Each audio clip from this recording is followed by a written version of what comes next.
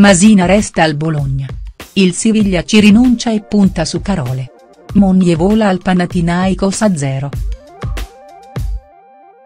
Il Bologna, ve l'avevamo già detto ieri, è al centro di diverse voci di mercato.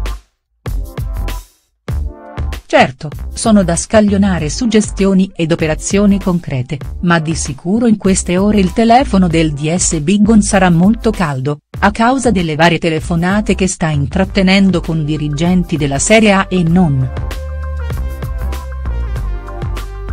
Non che è stato bisogno di utilizzare lo smartphone per incontrarsi, oggi, col Siviglia, che ha presentato la sua ultima offerta per Adam Massina all'Hotel Melà sede del calciomercato italiano del 2017.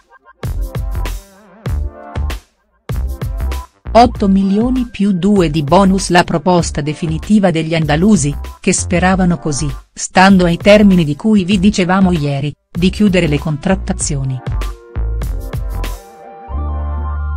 tuttavia la squadra emiliana ha effettuato un rialzo della richiesta a 13 milioni, a causa del sempre più scarso tempo per trovare un sostituto, uno sgarbo che gli spagnoli non hanno gradito, finendo per far saltare definitivamente il tutto. Il giocatore non si è fatto problemi e resterà dunque ancora un altro anno a disposizione di Roberto Donadoni.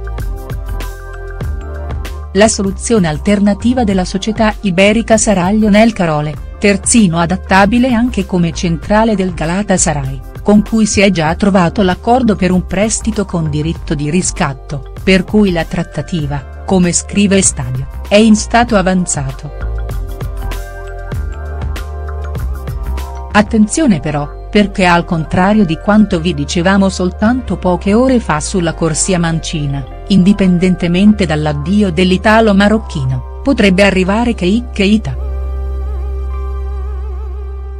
Le contrattazioni con il Birmingham City per l'ex Entella sono continuate anche nella giornata di oggi, arrivando ad un punto estremamente vicino alla chiusura.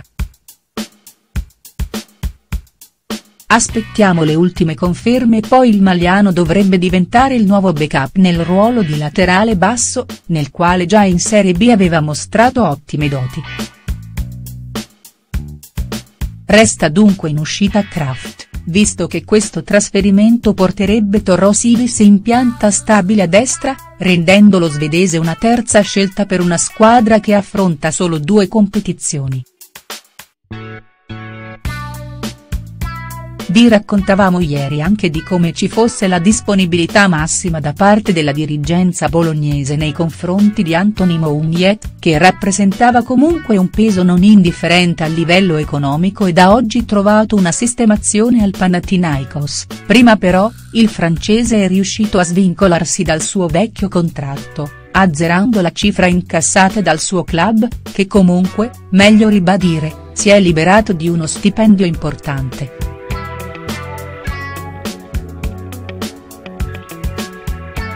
Adesso dovrebbe firmare per un triennale da quasi 500.000 euro l'anno, meno di quanto recepiva da noi, ma comunque una cifra di tutto rispetto.